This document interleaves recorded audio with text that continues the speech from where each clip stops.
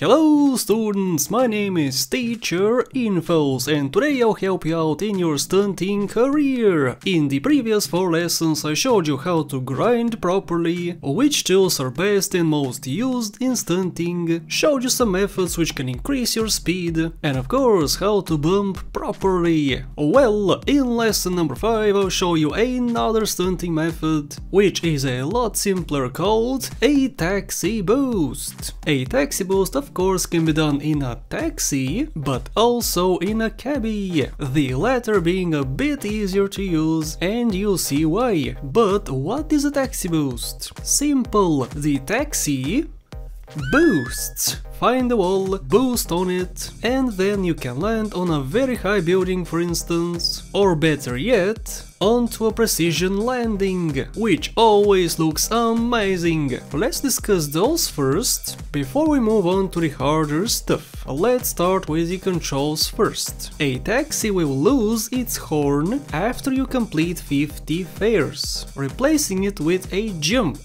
Essentially your horn turns into a jump.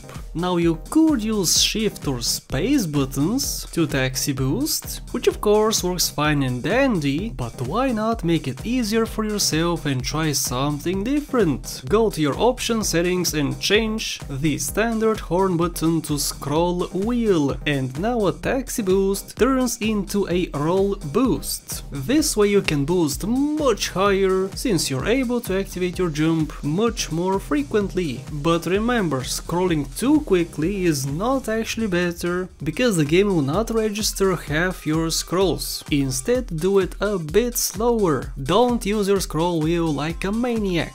Now that you know how to roll boost, you should know that your frame rate is a big factor on how high and how far you can boost too. The more frames you have, the farther you go. So unlock your frame rate in the menu and get them 100, 200, 500 FPS and go nuts. The two vehicles boost in a different way, and while yes, both methods work for both cars, you should stick to what I show you until you master the movement of both. Let's start with the cabbie. Find the wall and face it at a 45 degree angle, making sure that you have enough room to gain some speed.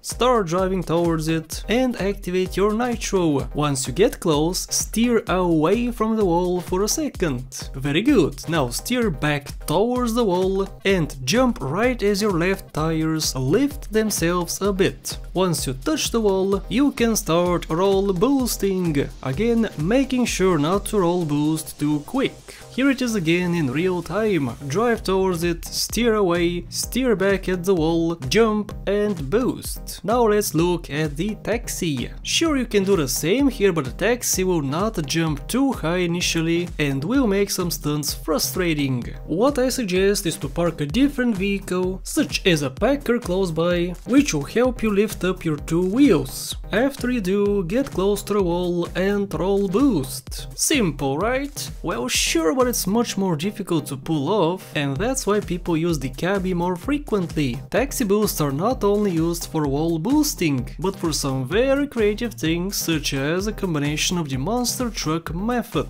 I'll discuss that one in depth in a different lesson, but here is the short version. Walk up to a pedestrian car, drive on top of it with one tire, get off, get in your taxi, jump on the car and congratulations, you are now an astronaut! And this concludes lesson number 5 everyone, taxi boosting is not hard to grasp, but landing these precisions is hard to master. Good luck and happy stunting! Check the other lessons in the playlist placed in the description of this video, and lastly thank you for watching and a very special thank you goes to my lovely Patreon supporters! Austin Data, House the Chowder, Alex Chavez and Max Robinson, Teacher Infos, out.